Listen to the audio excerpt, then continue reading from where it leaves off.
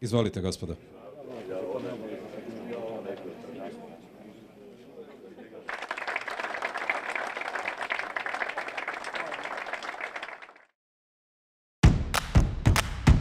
Grad ponovo diše sa svojim nogometnim klubom. Projekt pod nazivom Pokrenimo grad pokazao se kao zamašnjak mnogih pozitivnih stvari.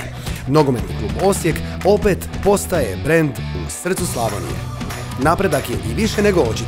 Godinu dana ranije bijelo-plavi su bili predposljednji na tablici, a prošlu jesen okončali su na trećem mjestu s čak 19 bodova više u odnosu na isto razdoblje 2015. godine. Momčad je ostvarila do tada nezamislivih pet uzastopnih pobjeda u gostima. Rušila je neugodne tradicije protiv Dinama u Maksimiru, Slaven Belupa u Koprivnici, Lokomotive u Gradskom vrtu. U naše su redove ljetos stigla prava pojačanja. Vratili smo bivše igrače u matično jato, doveli one koji su nam osnažili redove i omogućili uzlet prema vrhu tablice. Osijek danas ima značajno veći broj gledatelja na svojim utakmicama, sve više godišnjih pretplatnika, a bijelo-plavi navijački klub već sada ima respektabilan broj od 12.641 člana. Baš sve o NK Osijeku, o svakoj od naših momčadi i njihovim aktivnostima, promičbenim i drugim novostima možete saznati na novoj web stranici. Online web shop pruža mogućnost kupovine različitih klubskih rekvizita. Postali smo prepoznatljivi po našim klubskim autobusima koji nas voze diljem Hrvatske i izvan naših granica. Naše dresove imaju svjetski poznata imena ne samo sportaši nego i mnogi drugi.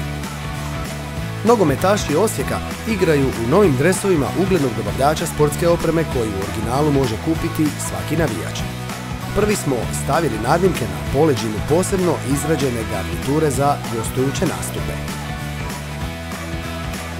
Najpopularniji sportski kolektiv u gradu ima jake i sigurne sponzore koji mu osiguravaju barem pet puta veći proračun u odnosu na godine koje su iza nas. Planovi su nam naravno još ambiciozniji. Na Pampasu će uskoro započeti izgradnja velikog kampa škole nogometa s desetak vrhunskih terena, a na tome ćemo mjestu u buduće imati i mali stadion s kompletnom infrastrukturom i UEFA licencom. I ponoviti ću opet, Osijek će navijati za Osijek i nogome će pokrenuti grad. Imamo tu nesreću u sreći da na istoku Hrvatske nemamo puno svjetlih točaka. Neka Osijek bude najsvjetlija točka i neka nas znaju po nogometu gradu Osijek. Hvala vam.